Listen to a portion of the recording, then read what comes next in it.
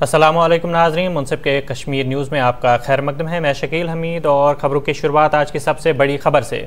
سری نگر جموں قومی شہرہ پر لتپورہ کے نزدیک گوری پورہ میں جمعرات کو ملیٹنٹوں نے سی آر پی ایف کی ایک گاڑی کو نشانہ بناتے ہوئے حملہ کیا، جس کے نتیجے میں اب تک کم از کم تیس اہلکار شہید ہو گئے ہیں اور متعدد زخمی ہو گئے ہیں۔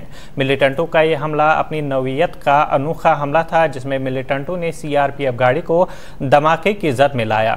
اطلاعات کے مطابق علاقے میں ایک زوردار دھماکے کی آواز سنائی گئی، جس کے بعد علاقے میں لوگوں کو بھاگتے ہوئے دیکھا گیا۔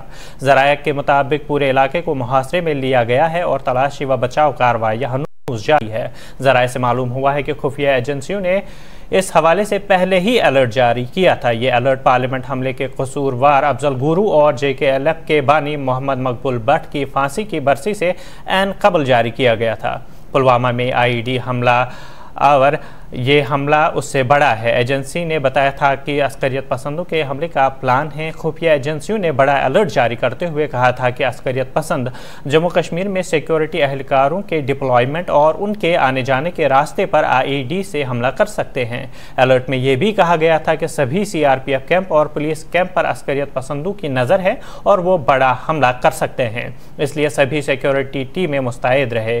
باوجود اس کے عسکریت پسند اپنے منصوبے میں کامیاب ہو گئے اور ہمارے درجن سے زائد جوان شہید ہو گئے۔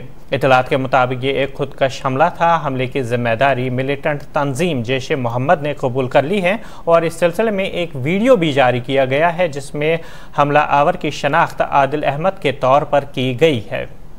اور ناظرین، یہاں پہ پلوامہ اٹیک کے سلسلے میں آپ کو ایک اپڈیٹ دے دے۔ ابھی جو لوکل میڈیا رپورٹس ہیں، ان میں بتایا گیا ہے کہ ہلاک ہونے والے سی آر پی ایف اہلکاروں کی تعداد بیالیس تک پہنچ چکی ہیں اور اسی سلسلے میں سری نگر اور جنوبی کشمیر میں انٹرنیٹ خدمات معطل کر دی گئی ہے، جبکہ سری نگر میں صرف ٹو جی سروس ابھی فی الحال چل رہی ہے۔